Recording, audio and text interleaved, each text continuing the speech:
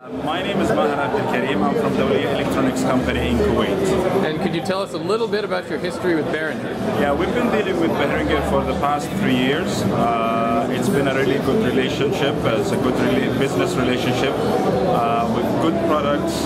Uh, good prices and uh, some of these products are really unique to our market. Now, which products do you find to be the most successful in your region? The powered speakers in particular, the active speakers, loudspeakers, as well as the mixers. These are the top selling uh, items or products in our country.